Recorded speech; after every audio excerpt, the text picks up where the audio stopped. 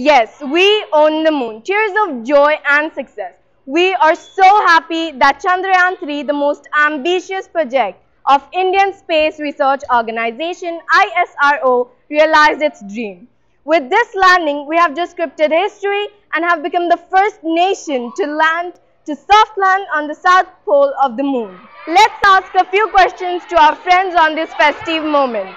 Zanha, how do you feel about this moment? I am very happy at the successful culmination this mission and I believe this is something transmitting inspiration to the younger people and the generations to come.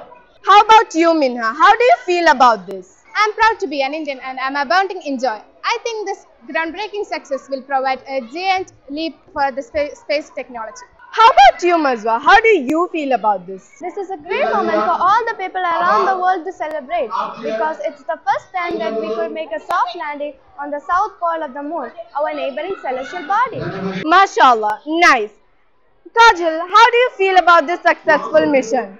I'm not an Indian, but I'm very proud of India for achieving a very big goal of theirs, as this can be a very big inspiration to the whole humanity.